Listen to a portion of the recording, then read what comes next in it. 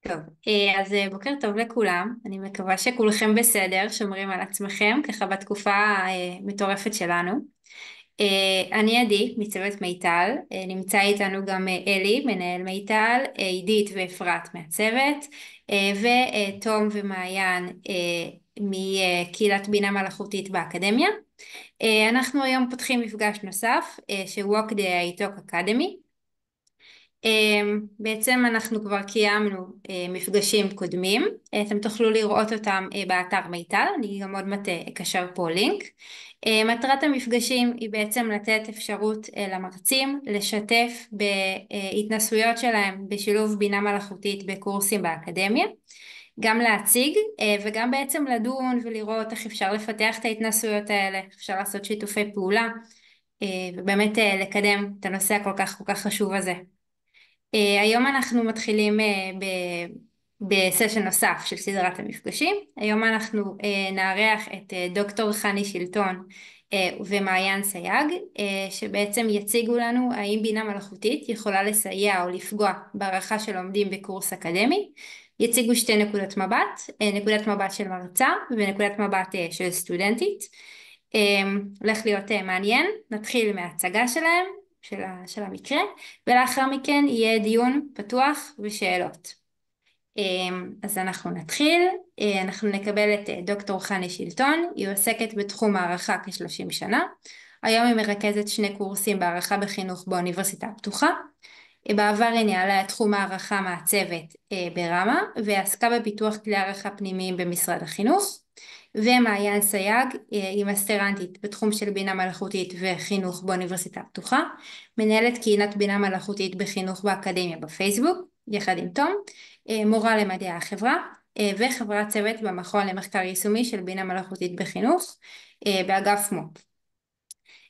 אז מישהו רוצה להוסיף משהו? תום, אלי? לפני שנתחיל. אני רק אגיד אה, תודה, המפגשים האלה התחילו כשיתוף פעולה של אה, הקהילה שלנו יחד עם מיטל, ומיטל, אני אה, רוצה להודות לכם, לכל הצוות שנמצא פה על ההובלה של הדבר הזה, זה לא מובן מאליו, יש הרבה עבודה ברקע, ובהצלחה לחני ולמעיין היקרות. תודה. טוב, אז חני, מעיין, אלי, אתה רוצה להגיד משהו? לא, לא, בוקר טוב, אפשר להתחיל. בסדר, אז אה, חני מעיין, הבמה שלכם. נתחיל עם המצגת. אה, אני רוצה רק לומר שקודם אה, כל זה שתי נקודות מבט מאוד מסוימות, כלומר אני מרצה בתוכן של הערכה ו, והתהליכים שאני רוצה שהסטודנטים יעברו הם אותם תהליכים שמבחינה תיאורטית אנחנו מדברים עליהם בקורס יש כאן קצת ניסיון אה, אה, שזה לא יהיה רק ללמוד את התיאוריה אלא להתנסות במעשה.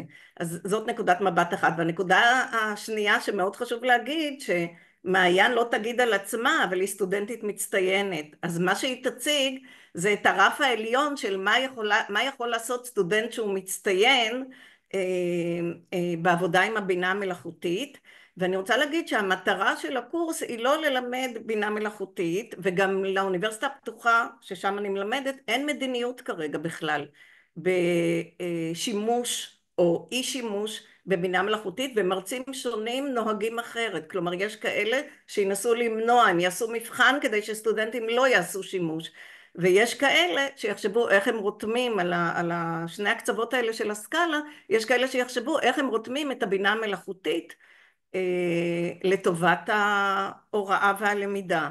אז אה, היה חשוב לי לתת את ההקדמה הזאת ואני רוצה לדבר על אה, על assessment for learning עם AI, כלומר על הערכה שמקדמת למידה, לא רק הערכה לתת ציון או שהסטודנט יקבל ציון בקורס שהוא סיים, אלא איך הערכה תוך כדי הקורס יכולה לסייע לסטודנט להגיע להבנות אה, מעמיקות יותר, טובות יותר, לקדם את, ה, את הלמידה שלו ואיך AI יכול לעזור. ואני רוצה כאן אה, להגיד שהרבה מאוד שנים אה,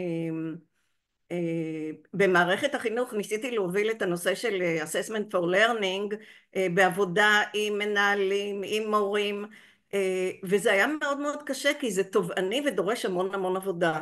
ואני חושבת שפה פעם ראשונה שאני מרגישה שיש כאן הזדמנות בלתי רגילה שה-AI פשוט מייעל את התהליכים וחוסך המון המון זמן כך שאני לא מדברת על קורסים של 100 סטודנטים אבל בקורס סביר שיש 25 סטודנטים עד 25 סטודנטים 30 סטודנטים אפשר לעשות לקחת מכאן חלק מהרעיונות אני לא, לא אומרת את כולם אבל בוודאי אפשר להתחיל עם משהו שיכול לסייע לסטודנטים לקדם את ההבנות שלהם. אז עכשיו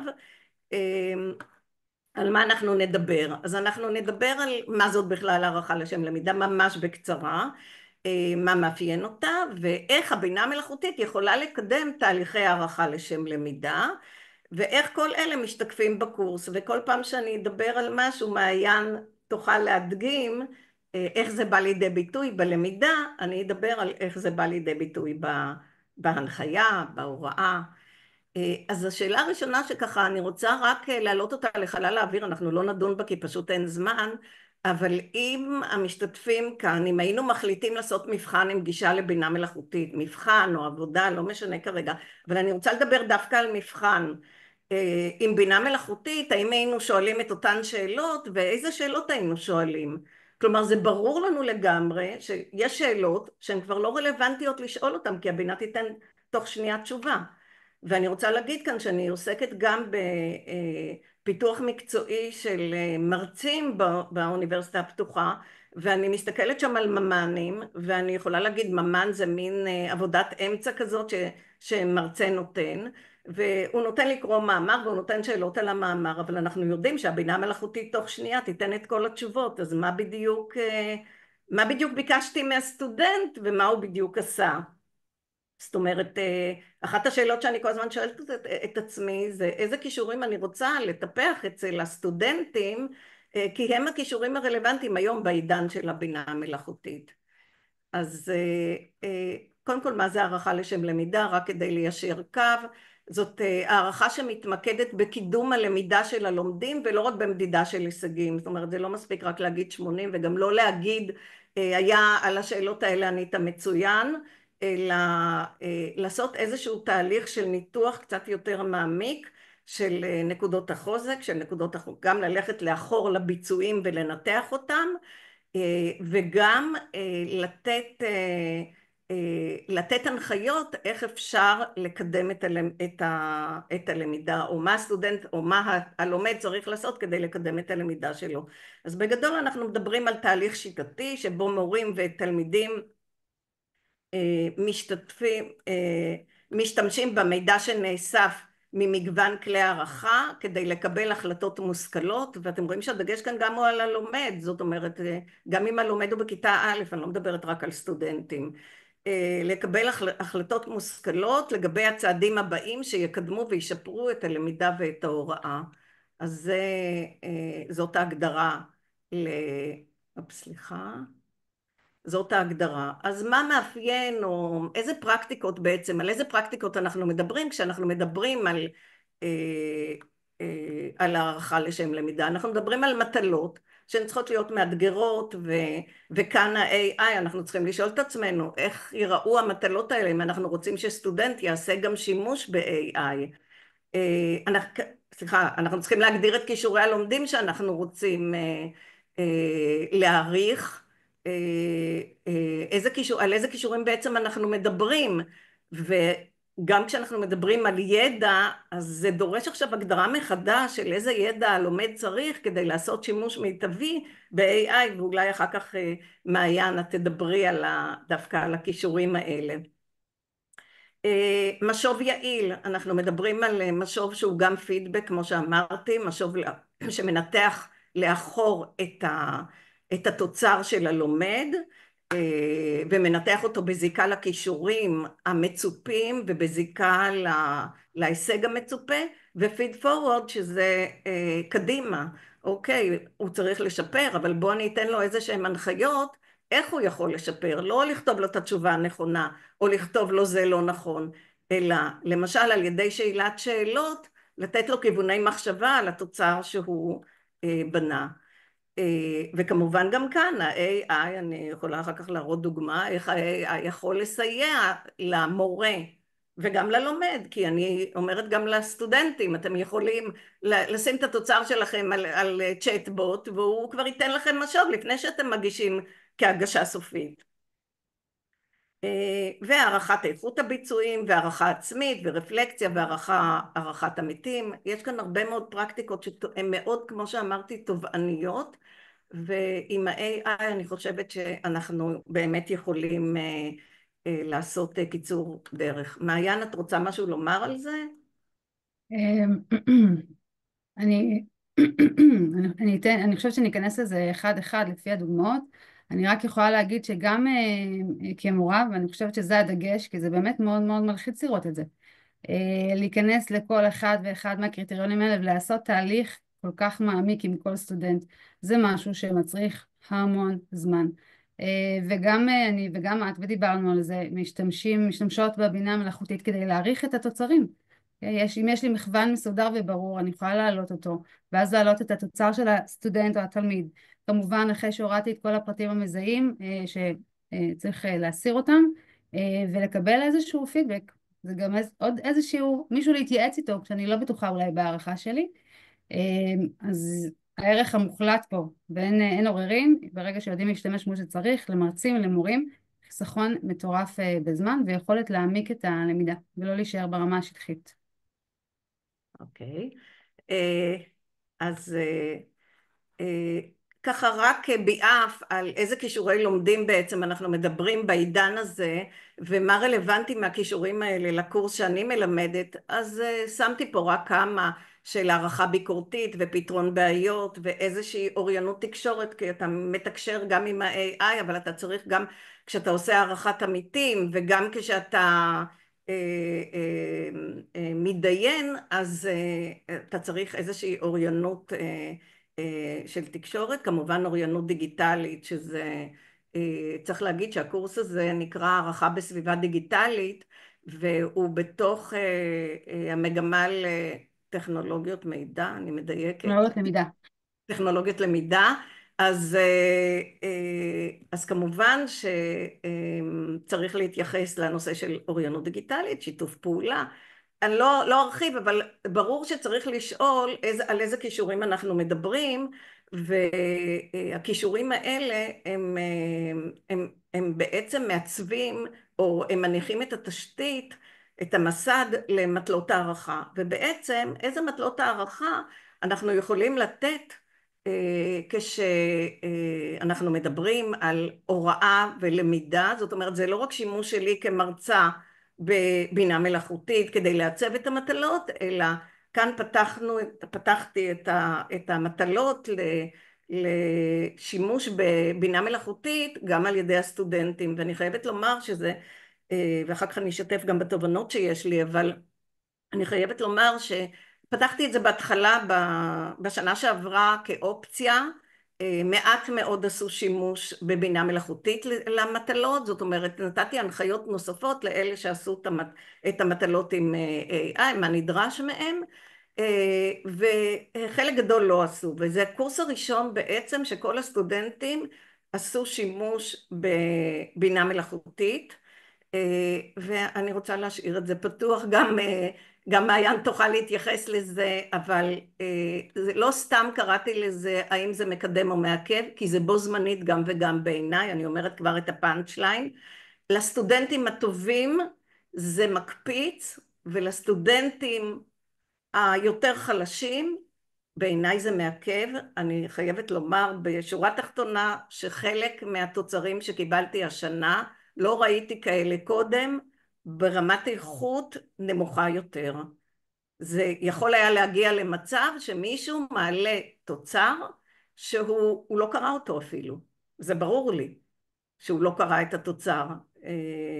זה יכול להיות סטודנטית שזה כתוב בזכר אתם רואים שאפילו הגעה לא נעשתה. אז אז כן יש כאן בעיה ואני בכוונה אומרת את זה כבר מההתחלה כי השונות הזאת אני מכירה אותה מרפורמות אחרות שהיו במערכת החינוך שכשיש רפורמה חדשה, אז בתי הספר הטובים זה מקפיץ אותם, ובתי הספר החלשים זה מדרדר אותם. אני יכולה לתת הרצאה על הדבר הזה, אבל בהרבה מאוד רפורמות באופק חדש. היו כאלה שעשו עם השיעורים הפרט... אני בכוונה נותנת את הדוגמאות האלה, כי זה משהו שהוא חוזר על עצמו, וצריך לקחת בחשבון שיש פה שינוי דרמטי, ושאיך, זאת תהיה אחת השאלות בסוף, איך אנחנו רותמים את כולם למקום שבו עושים שימוש מושכל ושבאמת אה, אה, משפר את הלמידה.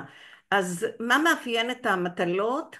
אה, שמתי ככה את המאפיינים, קודם כל שיש כאן הדגשה על תהליך הלמידה, המטלה היא לא מוגשת, זאת אומרת יש באוניברסיטה הפתוחה ממן ויש תאריך שצריך להגיש את הממן, אבל המטלה מועלית לפורום, שם הסטודנטים יכול, מעלים את התוצר ואו אני או סטודנטים אחרים נותנים משוב על התוצר והסטודנט לפני שהוא שולח את המטלה אה, כממן להערכה מסכמת, אה, יש לו הזדמנות לשפר את התוצר. יש כאן גיוון בעיצוב המטלות, כלומר המטלה היא מאוד פתוחה, אני אתן אחר כך דוגמה, מעיין תיתן את הדוגמה, גיוון בעיצוב המטלות כך שסטודנט יכול לבחור מה מתאים לו, אה, אני משתדלת שהמטלות יהיו רלוונטיות לעולם האמיתי, לשוק התעסוקה, זה יכול להיות שוק התעסוקה אם זה אמ, אמ, היו, לי, היו אצלי מדריכים, ש, מנהלי הדרכה בארגונים, אז עשיתי אדפטציה למטלה שזה יתאים גם למנהל הדרכה ארגוני ולא רק למורים או מנהלים בבית ספר. אה, המטלות האלה מאפשרות בחירה אה, אה, וחשוב לומר שהן מותאמות תרבותית, כלומר אם מישהו צריך להגדיר, לכתוב מסמך, לפתח כלי לתחום הדעת שלו, אז אם הוא מלמד ערבית זה יהיה, זה יותאם לתלמידים שלו, ואם זה מעיין שעוסקת בהכשרת מורים, תפתח משהו שמתאים, ל, סליחה, לפיתוח מקצועי של מורים. אז מעיין, את רוצה כאן... כן. אז אני, אני אמחיש את זה פשוט, אני אראה את הממן. כן, בסדר גמור. עדי, תתני לי גישה לשתף. רגע, אני... המטלה היא בעצם מטלה... כן, את יכולה לשתף, רק שחני תפסיק. כן. בסדר. המטלה היא בעצם, כל מה שמתואר כאן זה מטלה מתגלגלת. היה לנו אוסף של משימות שבאמת נועדו להביא לידי ביטוי את כל מה שלמדנו לאורך הקורס. התחלנו מלהגדיר את הכישורים, מיומנויות, במסגרת כשירויות שכולנו מכירים, אבל מותאמת למשהו ספציפי, לאיזשהו תפקיד ספציפי. אה, לאחר מכן היינו צריכים לפתח איזשהו כלי שיעזור לנו לאסוף מידע על האם, אה, איך אפשר לפתח את הכישורים האלה והאם הם פותחו. לכל אורך התהליך היה אה, משוב עמיתים. זאת אומרת, העלינו את התוצר שלנו, נתנו משוב לסטודנט אחר, קיבלנו משוב מסטודנט אחר, הגבנו על המשוב, היה מין תהליך איטרטיבי. אמרתי לחני, בעיניי זה היה קצת, זה היה קצת קשה מכמה סיבות, תכף אני אגיע אליהם. לאחר מכן ממש אמ, עברנו ל... למדנו עקרונות של משוב יעיל, כי אנחנו בקורס של הערכה, נתנו משוב, קיבלנו משוב על המשוב, אה, קיבלנו משוב על המשוב על המשוב, היו שם המון המון המון שלבים, אה, וזה מאתגר, ואני יכולה להראות לכם פשוט אה, איך הבינה עזרה לי בכל אחד מההיבטים. אז קודם כל, כמו שחני אמרה, אלמנט הבחירה. הקורס במקור היה מיועד, כאילו מיועד לאנשי הוראה, כן, למורים, בגלל שאני נכנסתי לתפקיד חדש, ממש ביקשתי להתייחס לתחום ספציפי, למשהו שיקדם אותי, למשהו שיאפשר לי אחר כך לעשות בו שימוש. היא כמובן אפשרה את זה. המטלה הייתה יחסית פתוחה, אוקיי? אבל גם אה, היא, היא אמרה, היא אמרה את זה, אם היא תצטרך עכשיו לעשות התאמה של המטלה למישהו שעובד אפילו לא בתחום החינוך ובארגונים, זה, זה פרומפט אחד לקלוד או לצ'אט GPT, ויש לה מטלה שהיא מותאמת אה, באמת במינימום אה, מאמץ, כמובן שזה מצריך בקרה ולעבור על הכל ועדיין. אז אה, התחלתי, בחרתי לפתח מסגרת מושגית לטיפוח של כשירויות של מורים, להורים לבינה מלאכותית. הגעתי עם ידע מוקדם, וזה החלק הכי הכי חשוב, שדיברנו עליו המון. גם כמי שהייתה בקבוצת הוואטסאפ של הסטודנטים, ואני אסגור את זה כדי לומר את זה, הייתה מין ככה התרעמות בקרב הסטודנטים הם פשוט לא הבינו למה מצפים מהם לדעת ולשלוט ולהבין אה, איך עובדים בכלים האלה בצורה נכונה אה, ויעילה. וזה היה ממש תסכול, ממש אמרו למה אני צריך להשתמש בזה? עכשיו ברור שהם לא היו חייבים להשתמש וההנחיה הייתה אם השתמשתם פשוט תצרפו את הפרומט שכתבתם, אוקיי? ואחר כך תראו את התוצר שקיבלתם ואיך הפכתם את התוצר שקיבלתם לשלכם לא איך עשיתם העתק הדבק וזה מה שהגשתם אני חווה את זה גם בכיתה כמורה, אוקיי? זה לא משהו שהוא חדש. זה גם הגיוני כי אנחנו לא נמצאים באיזושהי נקודה שכולם שווים וכולם נמצאים באותו מקום וכולם יש להם אוריינות. והחלק מהדיון שלי עם חני היה האם, האם המטרה של הקורס, חלק מהמטרות של הקורס זה לפתח אוריינות בינה מלאכותית, האם התפקיד של המרצה באוניברסיטה הוא באמת לעשות את זה? ואני חושבת שיש פה איזשהו, איזושהי קבוצת גיל שהיא יצאה ממסגרת החינוך הפורמלית, אוקיי? והיא לא קיבלה את הכלים האלה באופן רשמי, כי אני היום מאמינה שבית הספר כן צריך לפתח אוריינות בינה מלאכותית אצל התלמידים, ואני כן מדגישה את זה ועושה את זה, מתוך נקודת מבט שהם יגיעו עוד שנתיים, שלוש, ארבע לאוניברסיטה והם יצטרכו את הכלים האלה, אבל להם לא היה את זה. הם היו בצבא, או בטיול, או במילואים לצורך העניין, והם לא נמצאים שם, ומישהו צריך כן לפתח את זה. זו, זו שאלה שככה עלתה לי עכשיו שדיברת חני, שמישהו צריך לתת עליה את הדעת, כי יש פה קבוצה גדולה. אני חושבת שבאוניברסיטה הפתוחה יש אה, אפשרות ליצור מנגנון כזה, ש... וזה בזמנו היה בתחום המחשבים, אה, שעושים, אה, יש מכינה כזאת, שאם אתה לא שולט אז אתה יכול אני חושבת שמכינות במוסדות אקדמיים יכולות, אה, כמו שפעם היה, שאם לא ידעת להשתמש במחשב היית צריך לעבור קורס, היית צריך לעבור איזושהי בחינה, ואם לא עברת אותה היית צריך, אני זוכרת שכשהבן שלי למד אז הוא לא ידע איך מכניסים את התקליטור לתוך המחשב והוא נאלץ לעשות את הקורס. אז אני אגיד כאן, שלום, שמי אפי נוני וייס ואני מנהלת המדור לפיתוח כישורי למידה באוניברסיטה הפתוחה, ואנחנו באמת בימים אלה זה לא יהיה ל-2025 א', אנחנו מחכים, כמו שאמרת חני, אין עדיין מדיניות מוצהרת, אז אנחנו מחכים למדיניות מוצהרת, ובהינתן אה, מדיניות כזו, כשיאפשרו לסטודנטים באמת להשתמש באופן מוצהר ב-AI, אז אנחנו רוצים לעדכן את סדנאות אה, הכתיבה שלנו ולהוסיף להם רכיבי AI. כי באמת הנושא של הפער אה,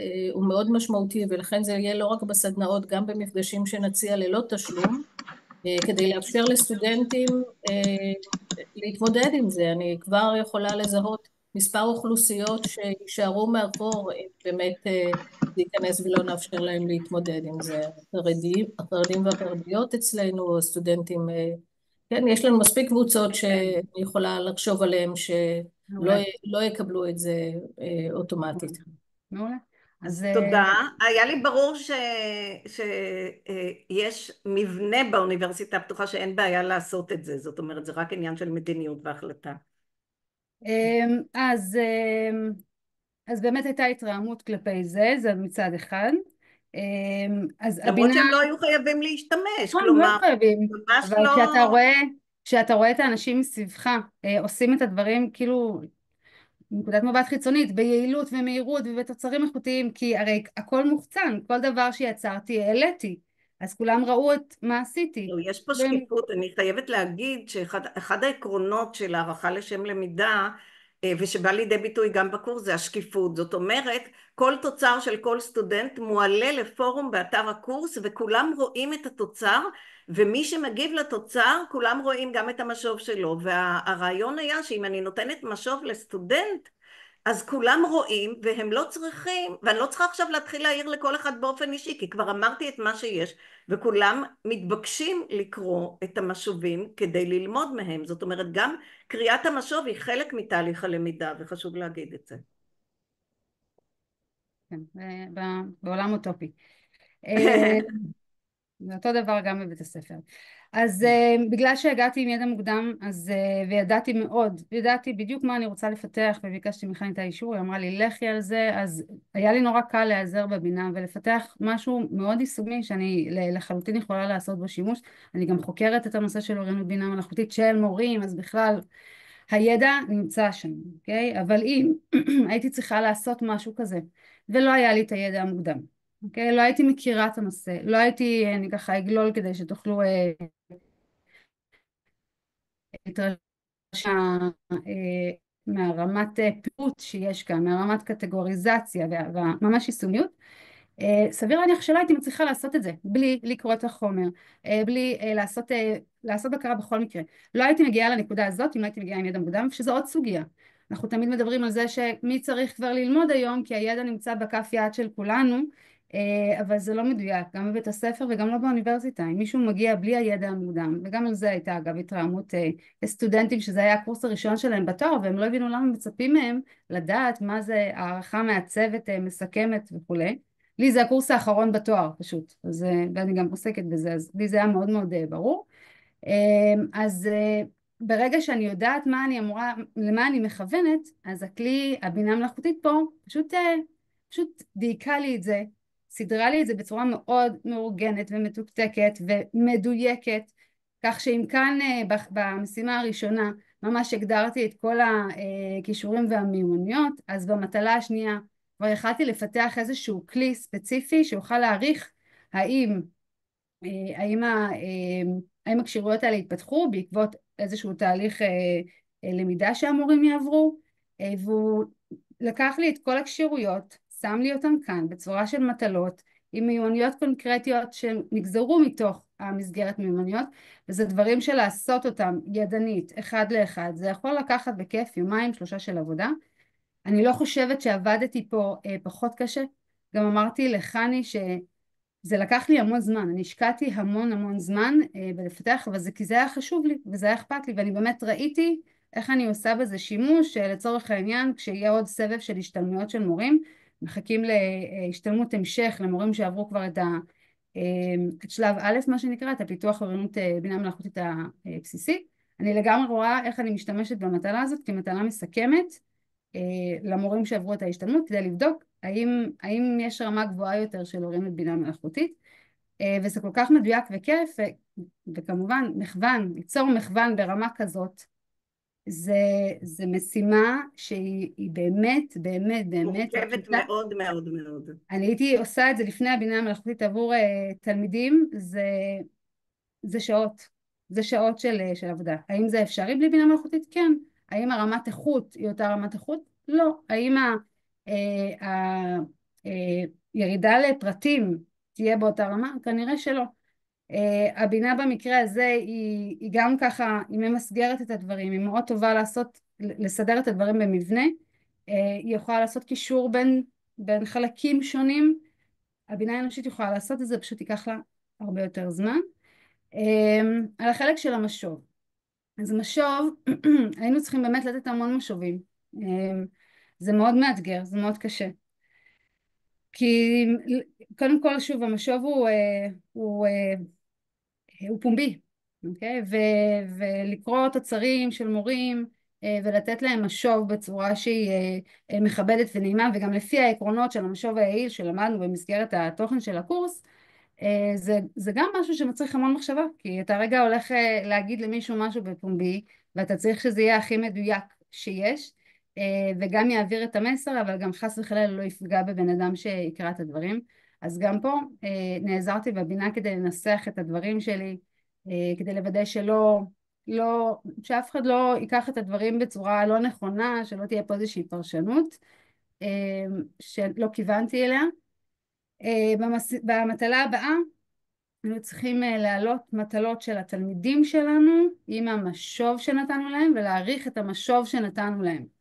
אוקיי? עכשיו, קודם כל לנבור אחורה ולמצוא את המטלות זה היה אתגר, okay? אוקיי? ולהחליט איזה מטלות, אמ, אבל זה מאוד מאוד עזר לי כי קודם כל זה, נתן, זה אפשר לי לעשות רגע רפלקציה על עצמי, על האם עשיתי את העבודה כמו שצריך, האם באמת נתתי לתלמידים שלי משוב שקידם אותם ושבפעם הבאה שהם יעשו איזושהי מטלה אה, אני אקבל מהם תוצר טוב יותר ואיכותי יותר, אז, אה, אז רוב ה... אז קיבלתי משוב טוב מ-ChatGPT, זה שזה היה נחמד בשבילי.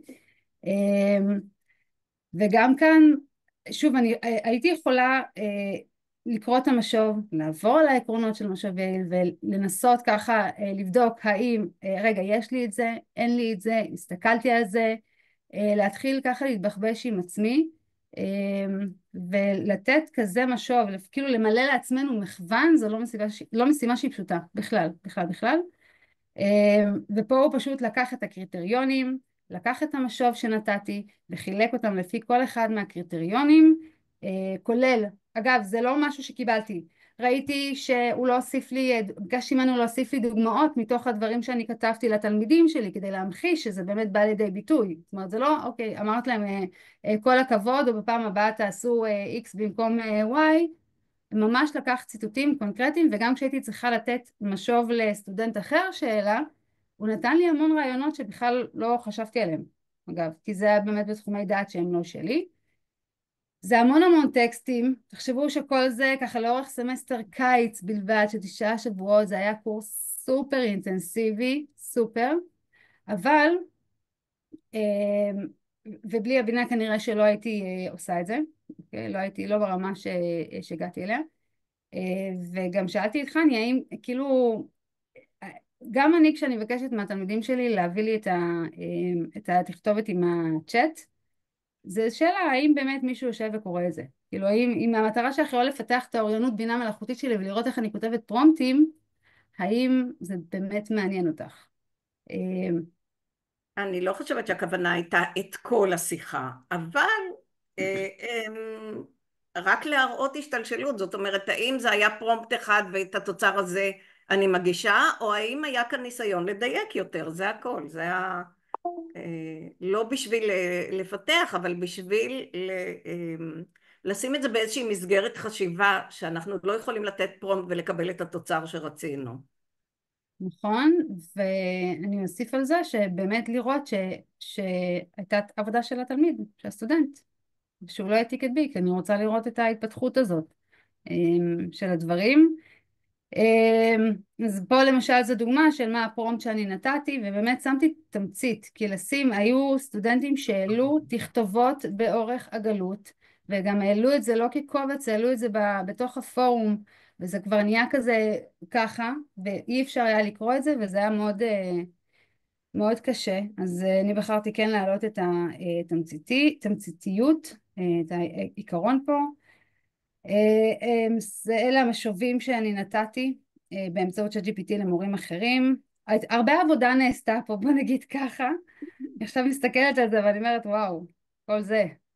אני חושבת שאולי יש כאן איזה מסר מעיין שחשוב להדגיש אותו שיש הרבה מאוד מרצים שחוששים לתת לסטודנטים לעשות שימוש בבינה מלאכותית כי כאילו הם לא יצטרכו לעשות כלום והם גם לא ילמדו כלום ואני חושבת שהשאלה היא, ואני חושבת שדווקא דרך נקודת המבט שלך, ושאת אה, אה, בעצם מציגה את התהליך המאוד מאוד ארוך ומעמיק שעשית, אז אנחנו, הערך של הבינה המלאכותית הוא להגיע לתוצר כל כך איכותי, אבל זה לא דרש זה, זה אולי ייעל קצת את התהליכים, אבל זה לא פטר אותך מ, מללמוד, מלקרוא, מלהבין, מלהגדיר לעצמך מה מצופה ממך. לא, ממש לא. לא, עבדתי, עבדתי מאוד קשה.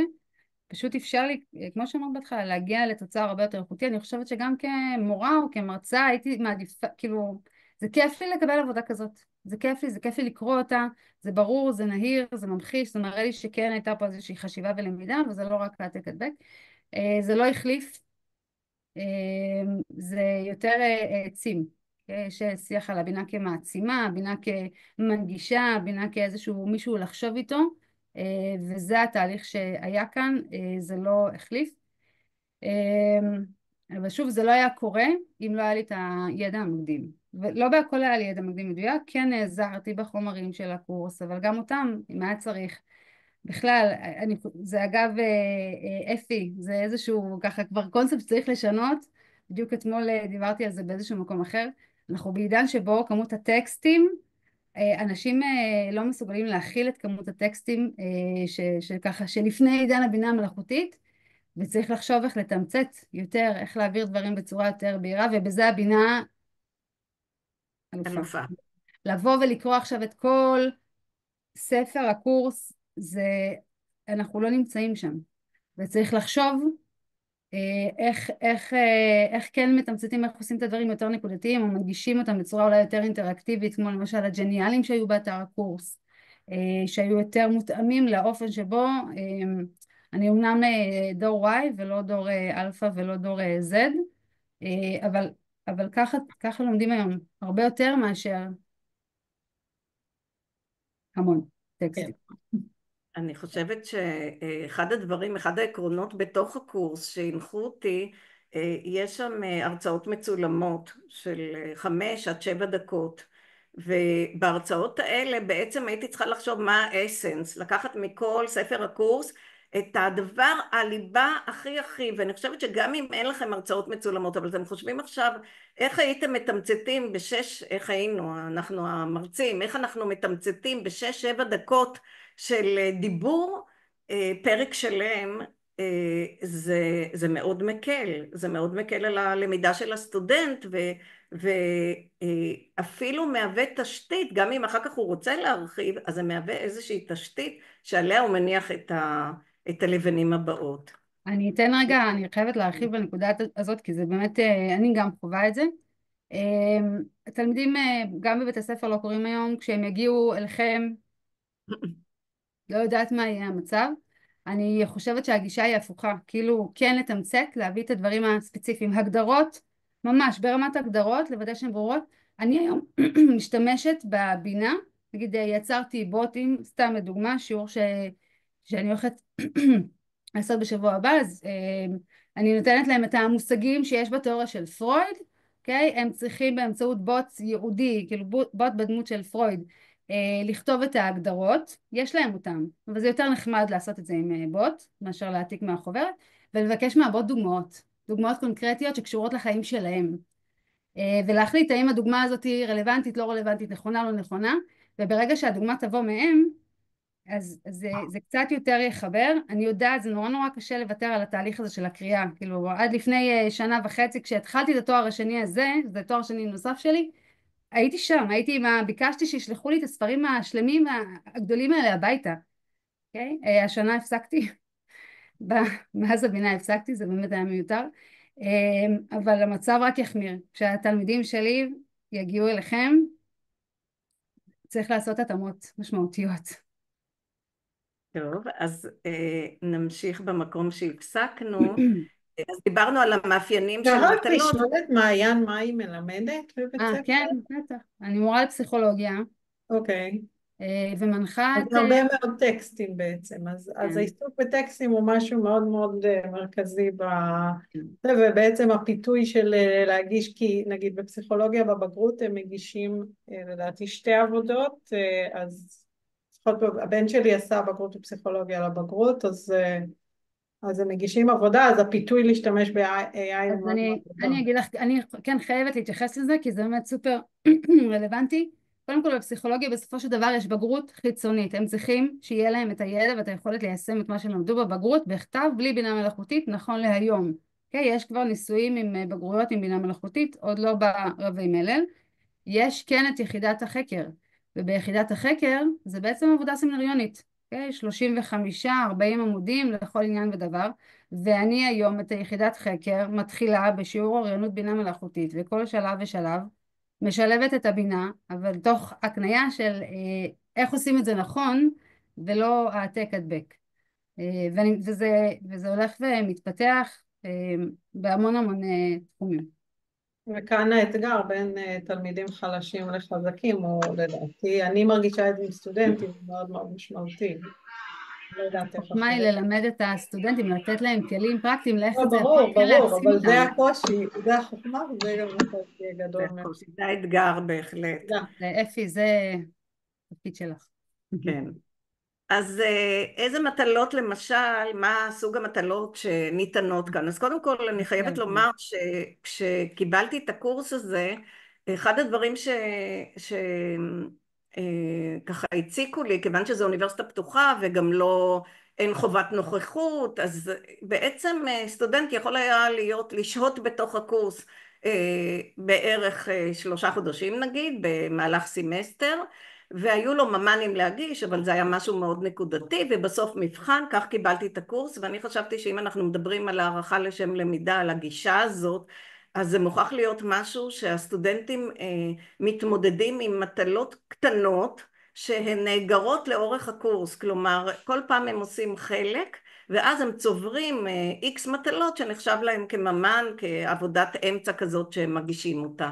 אז uh, המטלות הן בעצם, uh, ועכשיו עם הבינה המלאכותית, אז אנחנו מדברים בעצם על מטלת ביצוע, uh, כמו שמעיין הראתה את הדוגמה של מטלת ביצוע, שהיו צריכים לפתח מטלה, להגדיר כישורים, לפתח מטלה, מכוון וכדומה, וכל אחד בהקשר של מקום העבודה שלו, זאת אומרת אין פה גם עניין של העתקות, כי מורה למתמטיקה תעשה את זה במתמטיקה ומורה, ל, ומורה ל, לקרימינולוגיה יעשה את זה בקרימינולוגיה וכל אחד יעשה את זה בהקשר שלו, כולל מנהלי הדרכה בארגונים שהם יכולים לחשוב על איזשהו, איזושהי מטלת ביצוע או מנהלי הדרכה בארגונים, של, איזושהי מטלת ביצוע שקשורה לפיתוח מקצועי של העובדים אה, אה, ו, ו, ושם הם ישקיעו. ואני חייבת לומר ש אלה שלוקחים את זה באמת כמשהו שמאוד מאוד רלוונטי גם משקיעים יותר מאשר סתם למשימה אקדמית בקורס אקדמי.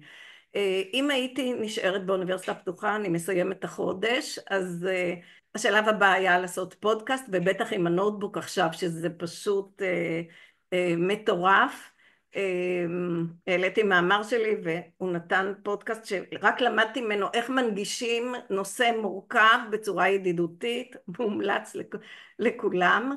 אה, אז למשל פודקאסט, ואז העניין של הבינה המלאכותית יכולה מאוד לעזור, תכף נדבר גם על הצגת מאמר כרפרט, כי זה קשור, אבל אם אתה בונה איזשהו פודקאסט לקורס שלך, והוא מבוסס נניח על מאמרים של הקורס, אז כל הלמידה של המאמר הבינה מאוד מאוד יכולה לעזור, אבל בסופו של דבר כדי ליצור את הפודקאסט או כדי להציג מאמר כרפרט, אתה חייב לשלוט, אתה לא יכול אה, רק להיעזר בבינה המלאכותית ושזה לא יעבור דרך מעבדת הידע שאתה יוצר אה, בתוכה. אולי מעיין את רוצה להגיד משהו על הצגת מאמר כרפרט? אני יכולה להגיד שאני מתכוונת לתת לה, בגלל שאני הולכת לשלב בינה מלאכותית, אני מתכוונת לבקש מהתלמידים שילך עם רפרט. כי ברור לי ש, שהרבה בתהליך אה, הרגיל שלפני הבינה אה, הולך לאיבוד בדרך, אז כן אני ארצה שהם ירכשו את המיומנות הזאת, וגם את זה הם כנראה יעשו עם בינה מלאכותית, בסדר? בואו. אה, ברור, בסדר. כן, ברור שנעזרתי בבינה כדי אה, ליצור את הרפרט שלי, אבל עוד פעם, בחרתי מאמר שהיה לי רלוונטי ברמה של זה בדיוק מה שהייתי צריכה להזכירת ספרות להצעת מחקר לתזה, אז, אז העמקתי בו, אוקיי? אז העמקתי בו ולמדתי אותו והוספתי אותו, אז זה היה לי באמת מאוד רלוונטי וגם אה, ככה גם הייתה בעצם ההצגה, זה היה מאוד מחובר. אני יכולה להגיד שאם אה, למשל במקומות אחרים אם אני צריכה להציג משהו, אני כן יכולה להשתמש ב-chat GPT, עכשיו בדיוק הוא עדכן גרסה והוא הרבה הרבה הרבה יותר נעים ו- ונוח, אה, לעשות איתו, להתאמן איתו ממש על הפרזנטציה שלי. אם אני סטודנטית שפעם ראשונה אה, מגישה אה, רפרט, מציגה רפרט, ואני צריכה מישהו להתאמן איתו, אז להעלות לו, עשיתי את זה כבר, להעלות לו את המצגת שהכנתי. קודם כל להעלות לו את המצגת, לבקש משוב על המצגת, על הנראות שלה. אוקיי? Okay? ChatGPT יכול לעשות את זה, גם קלוד יכול לעשות את זה.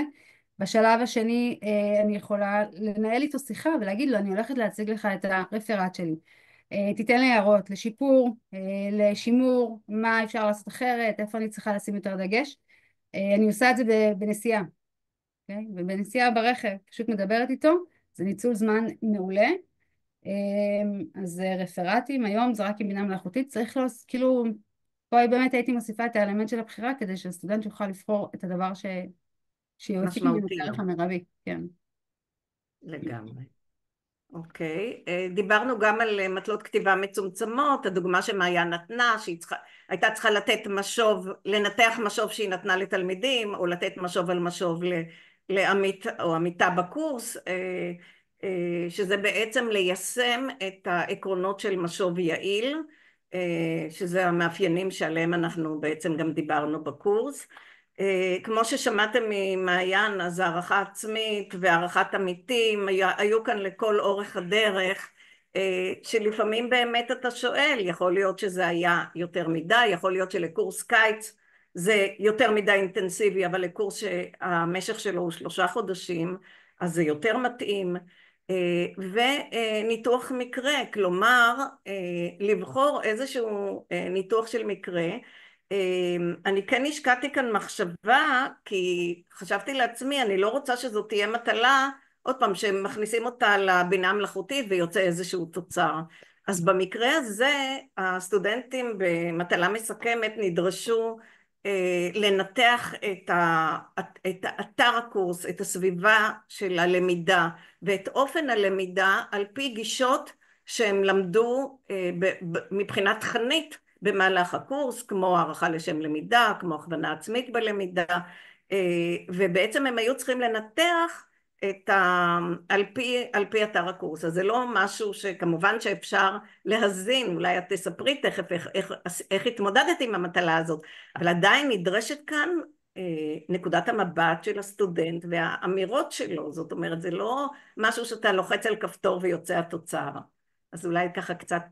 האמת שאת המטלה הזאת, עשינו אותה בזוג, עשיתי את זה ביחד עם איילה, איילה ענתה על השאלה הזאת, אני עשיתי, עברתי על זה ועשיתי איזושהי, כמובן קראתי ובדקתי ווידאתי שכל מה שרשום שם הוא נכון ורלוונטי, אני חושבת שזה מאוד נכון, זה מאוד מדויק, זה עוזר ככה לשקף.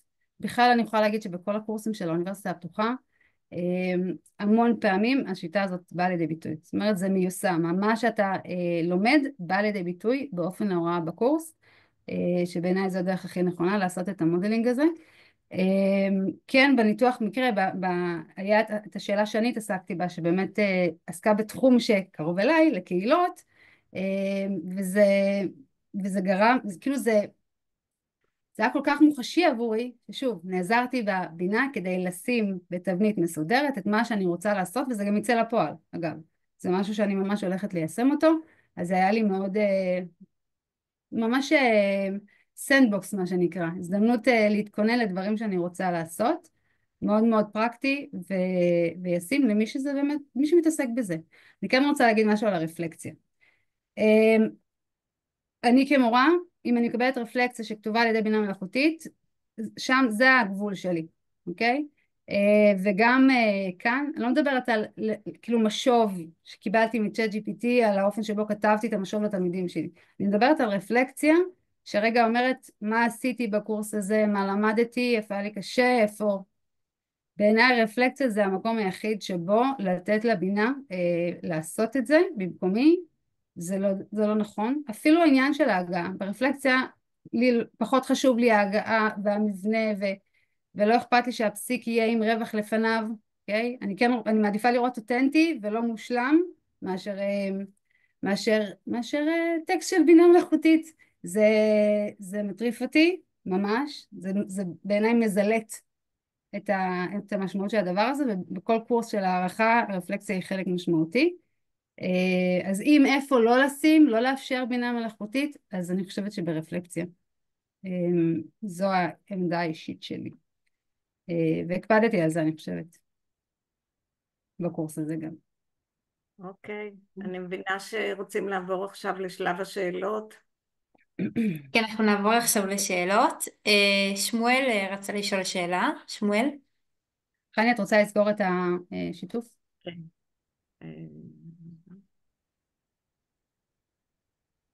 אוקיי. מוטי כתב שאלה בצ'אט. מוטי, אתה רוצה לשאול אותה כאן? אני כבר פה, אני כבר פה. אה, שמואל. כן, כן. פשוט פתחתי אוזניות.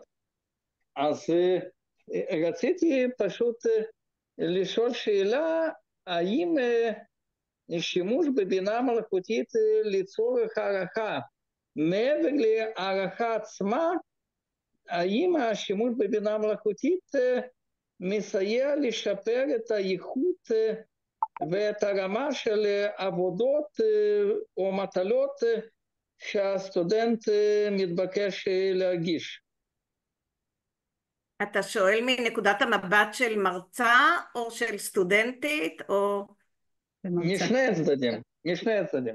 אני יכולה להגיד כך, מנקודת המבט שלי, זה, זה גם משפר, בוא נגיד שאני מומחית להערכה, אבל אני עובדת עם אנשים שהם לא מומחים להערכה, והיכולת שלהם לפתח מטלות ביצוע בקלות רבה ומכוונים למטלות הביצוע, זה, זה תובע, זה הרבה פחות תובעני ממה שזה היה לפני עידן הבינה. אז קודם כל זה דבר אחד. דבר שני, אני יכולה להתאים מטלות בקלות רבה, כמו שמעיין אמרה, ברגע שהיה לי מנהל הדרכה, פיתוח הדרכה, בארגון, אז פשוט ביקשתי ממנו, נתתי לו את המטלה וביקשתי ממנו תנסח את זה עכשיו כך שזה יתאים למנהל הדרכה בארגון ותוך שנייה יש לי מטלה באותה רמת ואני מבקשת ממנו לשמור על אותה רמת קושי, על אותם כישורים, אז תוך שנייה, זאת אומרת, אה, אה, מעיין אולי תספרי אפילו על השאלות הסגורות, כי זו דוגמה טובה. אמ, בפוסט בפייסבוק ככה שיתפתי באיזשהו תוצר שהכנתי למורים, לתלמידים, לא משנה. ו, ו, וחני ראתה את הפוסט והיא נתנה, היה בתוך התוצר הזה בעצם איזשהו תהליך למידה עצמאי ובסופה היו כמה שאלות רב ברירה שהתלמידים היו צריכים לכתוב את התשובה הנכונה ו, וחני נתנה לי כמובן משוב על זה. והציעה לי פוסט, היא הציעה לי פרומפט לכתיבה של שאלות רב ברירה שזה פרומפט שנעוץ לי, יש לי ככה אוסף פרומפטים שאני משתמשת בהם והוא מביא תוצרים כל כך, כל כך, כל כך איכותיים ומדויקים שזה פשוט תענוג, אני, הוא באמת מתבסס על עקרונות של, של הערכה. זה אומר שהשאלות צריכות לכסות את כל החומר ולהיות ברמת קושי עולה והמסיכים צריכים להיות מגוונים, לא מבלבלים מצד אחד וגם לא ברורים מאליהם. זאת אומרת אלה שהם באמת בודקים את ההבנה.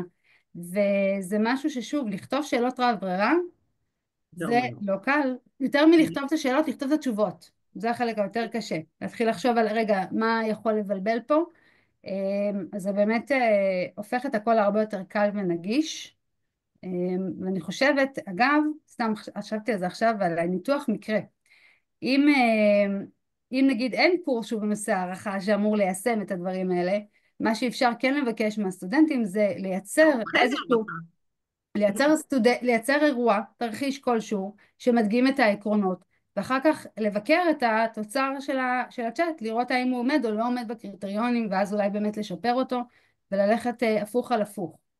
שזה גם משהו שאי אפשר היה לעשות אותו לפני כן, כאילו להתחיל לדמיין תרחיש שאולי היה קורה או לא היה קורה, כדי שיהיה אפשר לנתח אותו, זה ממש משנה, ככה ברמה של סאמר זה משנה את, ה... משנה את הלמידה לחלוטין. אני רוצה להגיד שבמקצועי אני פסיכומטריקאית, כלומר מומחית למדידה ו, ומפתחת כלים להערכה של, כלומר פיתחתי כלים להערכה של לומדים. אז אני אמרתי שהבינה מלאכותית קרתה את הענף שאני יושבת עליו במובן מסוים כי אם אתה אומר לו כל מה שהיה צריך להגיד לו שם זה תהיה פסיכומטריקה, תחשוב שאתה מומחה לפסיכומטריקה ו תציע לי מכוון, תציע לי וכן הלאה. זאת אומרת, אין ספק שהבינה כאן נותנת קפיצת מדרגה מטורפת. תודה, אנחנו נעבור, נעבור לשאלה נוספת. מוטי, אתה רוצה להעלות את השאלה שכתבת בצ'אט? כן, שלום לכולם. כשאני שומע שמשהו טוב לכל דבר, אני מתחיל להיות בלחץ. מראש אמרתי שזה לא טוב לכל דבר. אז, אז אם אפשר לפרט קצת יותר ממה צריך להיזהר. אני אתן לך את הנקודה.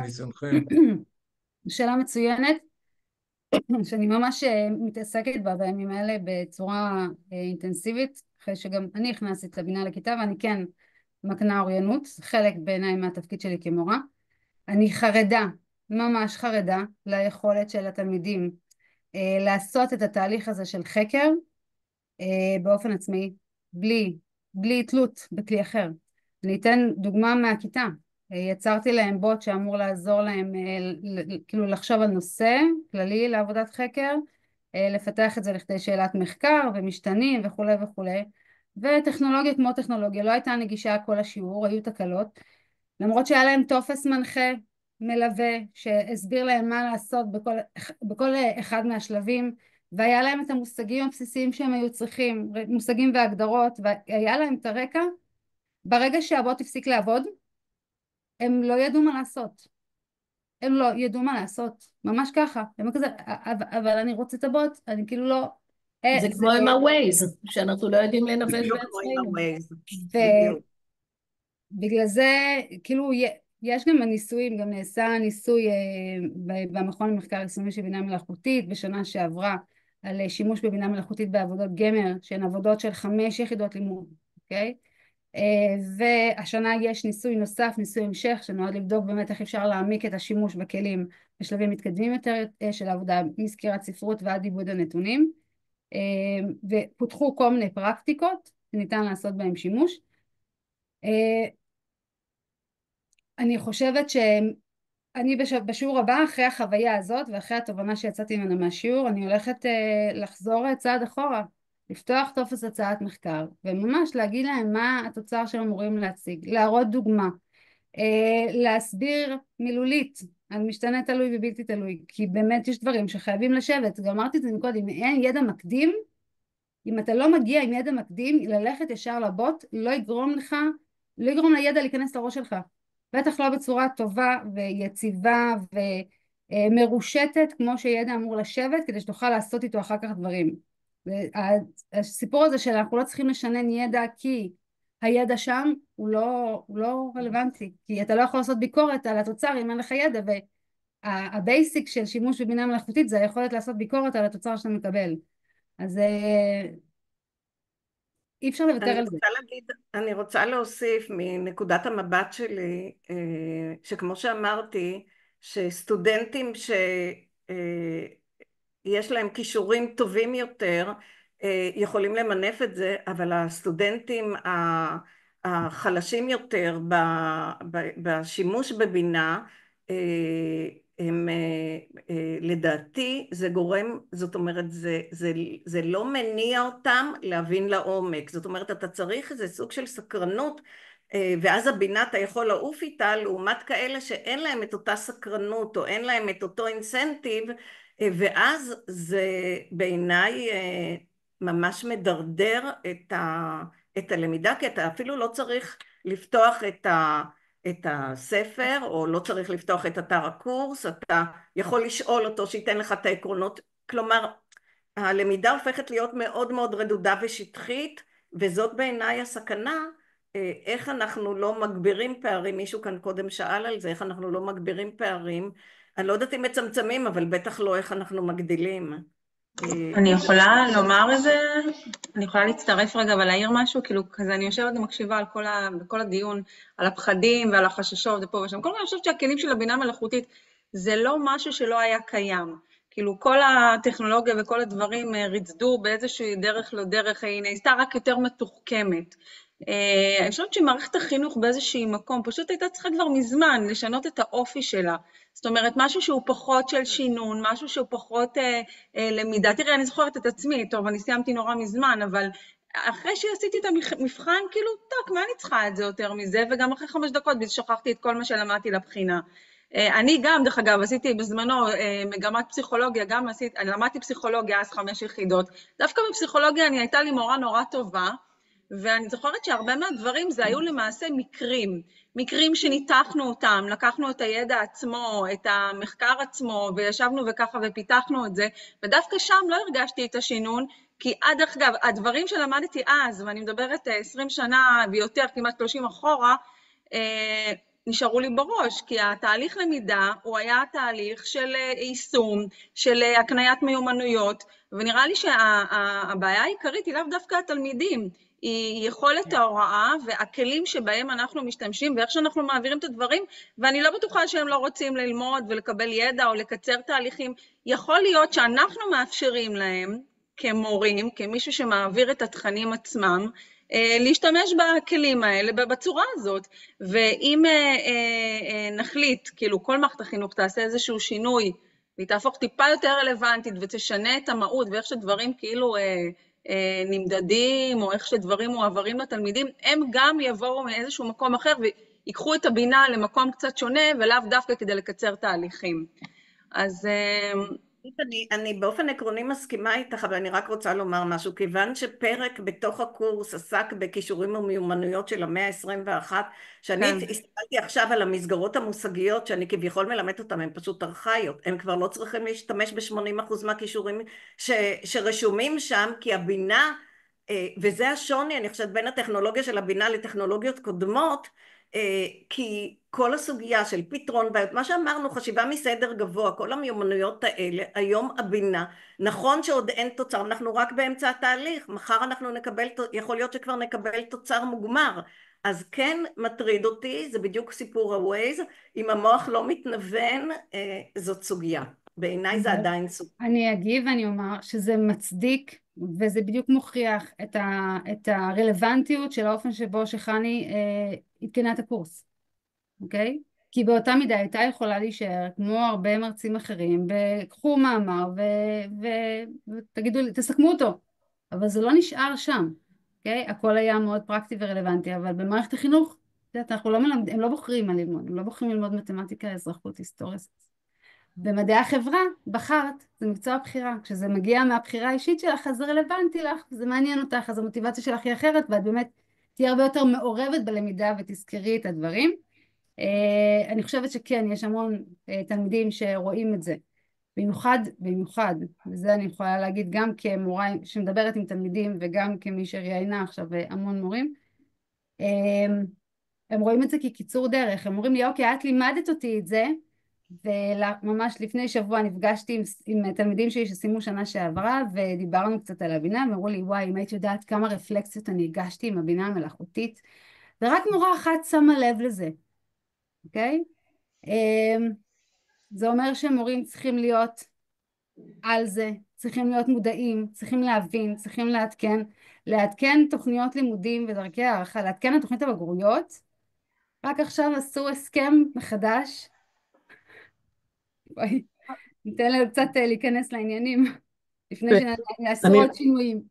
אם אפשר להעיר אה, למה שעכשיו אמרת, מעיין, אולי לסיכום, שכל מה שאת אמרת זאת, אני רואה בזה הזדמנות. הבינה המלאכותית נותנת לנו הזדמנות.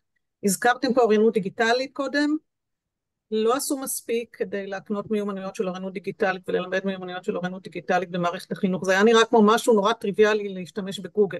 הבינה מכריחה אותנו, היא גורמת לנו, מכיוון שאנשים כל כך מעוניינים להשתמש בה כי היא כל כך מרוויחים, מגיעים ממנה לרווחים, זאת בעיניי הזדמנות למערכת החינוך ולמערכת ההשכלת הגבוהה, הגבוה, כן להכניס את, האורי, את העניין האורייני ואת החשיבה של מה היתרונות ומה החסרונות ובמה כדאי לי להשתמש ומתי כדאי לי להשתמש ומתי לא, להכיר את המגבלות והיתרונות, אני לא ממהרת לוותר בעיניי על מנועי החיפוש הקיימים, עדיין משתמשים בהם הרבה מאוד, למשל הרבה יותר עדכניים ממה שהמודלים של הבינה המלאכותית, והם פחות הוזים וממציאים דברים, אז אני חושבת שזאת הזדמנות עם כל המגבלות והקשיים שהועלו כאן, זאת הזדמנות שלנו להתחיל לדבר על מיומנויות של בינה מלאכותית ואוריינות דיגיטלית דרך זה. אני אגב חושבת שבכלל זו הזדמנות שהאקדמיה תתחיל לדבר במונחים של מיומנויות וכישורים ופחות בהגשה של תכנים. זה... ממש הגיע אתמול הזמן, שלשום ולפני שנה ושנים. אני כן אתן ככה איזושהי נקודת אור, כי לא כולם מודעים ולא כולם יודעים למה שמתרחש, אבל כן במחלקת הפיתוח במשרד החינוך, וספציפית במכון למחקר יישומי של בינה מלאכותית, היו בשנה שעברה שמונה יותר משמונה לדעתי, ניסויים בבתי ספר, במוסדות חינוכיים, עם מורים, עם תלמידים, יש מודל אוריינות בינה מלאכותית שפותח על ידי משרד החינוך, אוקיי? Okay? יש אה, אה, דברים שנעשים בשטח כדי להטמיע את הדברים האלה, כדי להוריד אותם. זה לא קל, זה לא פשוט, בטח לא בתקופה שאנחנו נמצאים בה, בואו בוא לא נשכח את זה. אף אחד לא נמצא פה במצב רגיל ופנוי עכשיו לאוקיי, בואו נתחיל אה, לדבר על צ'אט GPT, לא. חצי שני מיליון אנשים יושבים בכלל בבית, אה, אז הדברים נעשים. אני אישית מובילה ניסוי של בינה מלאכותית אה, במגזר החרדי, אה, ניסוי של עבודות החקר, ניסוי המשך, יש המון המון המון דברים שנעשים, יש תובנות, יש כלים פרקטיים, עשרות פרקטיקות שנוצרו בעקבות התנסות בשטח.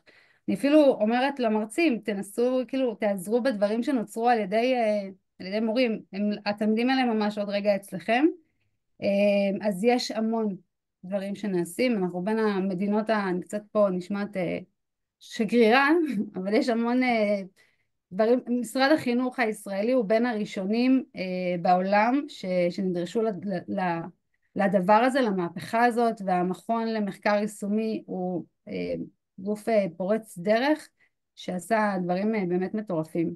וזה לא מובן מאליו.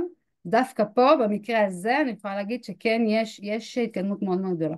להוריד את זה לשטח, יש תוכנית, בדיוק השאלה. כן, תוכנית AI לאומית, אבל זה כבר לא בסקופ שלי, אני מניחה שבטח... זה בדיוק העניין.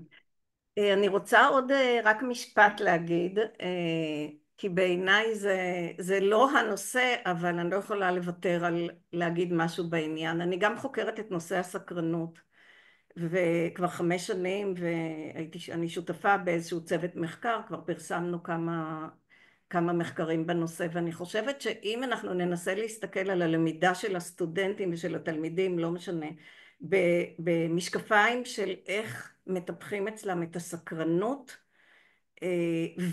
ומה אני כמנחה, מה אני כמורה, מה אני כהורה עושה כדי לטפח את הסקרנות הזאת, זה משקפיים שמאוד יעזרו לנו להסתכל גם על זה, גם על הבינה המלאכותית, ואיך אני מעודדת סקרנות כלפי בינה מלאכותית אצל, אצל התלמידים כך שהם יתנסו ויחקרו ויעשו רפלקציה על מה שהם עושים. אני חושבת שזה ה... זה לפחות האג'נדה שלי. תודה רבה חני, תודה רבה מעיין. היה מפגש מעניין מאוד והרבה חומר למחשבה. אז תודה רבה לכולכם, ההקלטה תעלה לאתר מיטל. זהו, שיהיה לכם המשך יום נעים ורגוע. להתראות. תודה רבה. תודה. תודה רבה. נכון.